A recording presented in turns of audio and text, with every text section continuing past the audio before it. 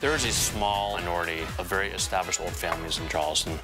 We have our ways here. I'm a gin drinker, and it's time for my medicine. Guys have a buffet of women at their disposal. I like this dress so much, just take it off. Peter Pan syndrome. She's pregnant. I didn't know they were having sex with each other. I've been sent from the heavens to help all you turds. Southern Charm. New episode Tuesday at 9. Slice up your life.